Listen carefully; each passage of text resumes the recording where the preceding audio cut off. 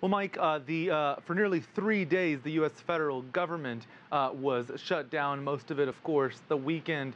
On Monday, uh, uh, federal employees will return back to work. Uh, they were without pay. It's expected that they will get back pay. Um, lawmakers agreed on a temporary uh, funding bill to get the government uh, back and running. This was a long time coming. Extension after extension had been passed.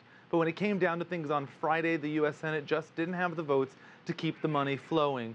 This is politics. Nothing is black and white. Republicans are blaming Democrats.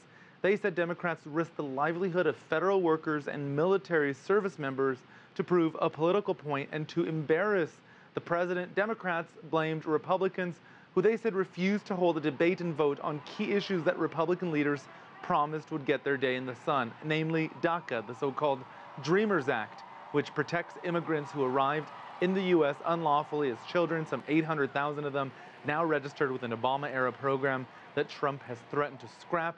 They now face deportation and CHIP, a federally funded health insurance program for some 9 million low income children that expired on Friday.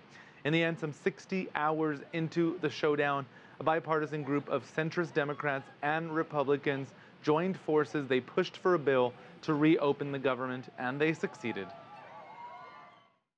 Today is the day to celebrate because we have shown that a determined group of senators working together across the aisle can result in positive action. I'm only going to say this.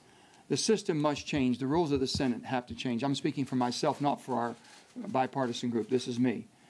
I don't believe that either leader on either side should have the powers that they have.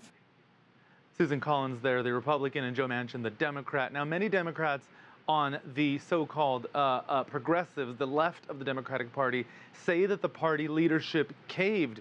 They say they sold out the so-called dreamers to Republican leaders who failed to deliver on promises in the past. Mike?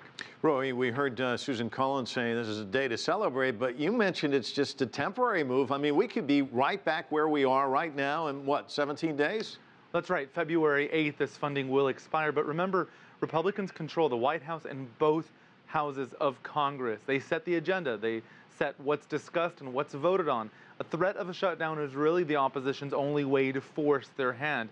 That's what they'll claim they did, and they'll say it worked, that they got the assurances they were looking for, including from the president, Donald Trump, keeping away from the camera these past three days, instead putting out this statement on Monday. He said, once the government is funded, my administration will work towards solving the problem of very unfair illegal immigration. We will make a long-term deal on immigration if and only if it is good for our country. And that's really Trump's caveat there what he and Republicans think is good for America might not be something that Democrats are willing to swallow. So, of course, we could be back here in the same place again very soon.